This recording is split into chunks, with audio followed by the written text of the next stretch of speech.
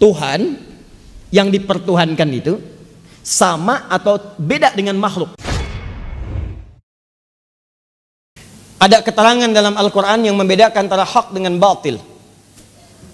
Yang benar dengan yang salah. Al-haq dengan batil. Ada keterangan dalam Al-Quran yang membedakan antara pelaku yang taat dengan ahli maksiat. Yang taat seperti apa? Yang maksiat seperti apa?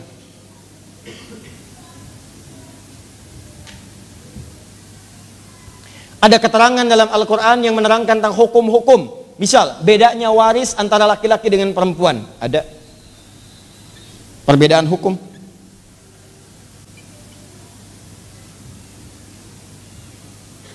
Ada yang menerangkan tentang, maaf, perbedaan hak yang didapatkan saat kembali kepada Allah. Ada yang masuk surga, ada yang masuk neraka. Perbedaan tentang muara saat kembali kepada Allah. Muara akhirat. Perhatikan sini. Perbedaan yang diterangkan satu atau dua? Ini baru contoh nih. Saya ulang, satu atau dua? Banyak. Nih, yang saya contohkan ada lima.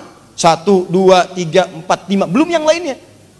Ketika Al-Quran banyak menerangkan tentang perbedaan-perbedaan dalam sesuatu, ada yang menyangkut bedanya Allah dengan makhluk, ada yang menyangkut bedanya antara hak dengan batil, ada yang menyangkut bedanya hak antara laki-laki dengan perempuan.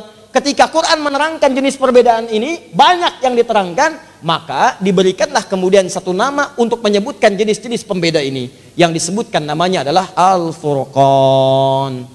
Maksud saya, kalau Anda menemukan kalimat Al-Furqan di dalam Al-Quran, maka Allah ingin memberikan isyarat kitab ini juga berfungsi menerangkan tentang perbedaan-perbedaan pada masalah tertentu yang kita dapat di dalam kehidupan. Contoh. Satu.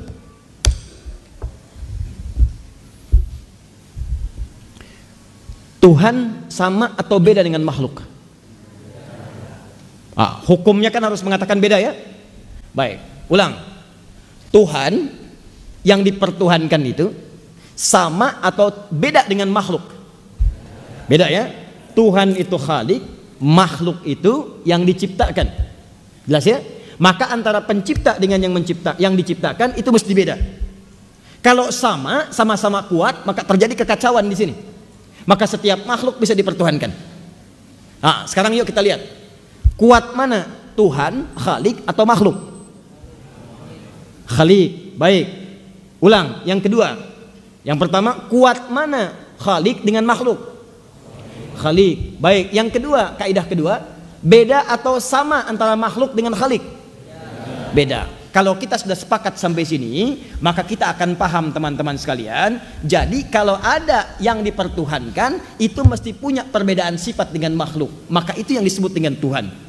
Maka Al-Quran ketika disebut dengan Furqan itu memberikan penjelasan kepada kita. Turunlah keterangan dalam Al-Quran ini. Sifat-sifat Allah saya perkenalkan kata Allah. Dengan sifat-sifat ini dia layak dipertuhankan karena sifatnya beda dengan makhluk. Lalu diterangkanlah kemudian yang dipertuhankan pada Tuhan-Tuhan yang lainnya dengan sifatnya.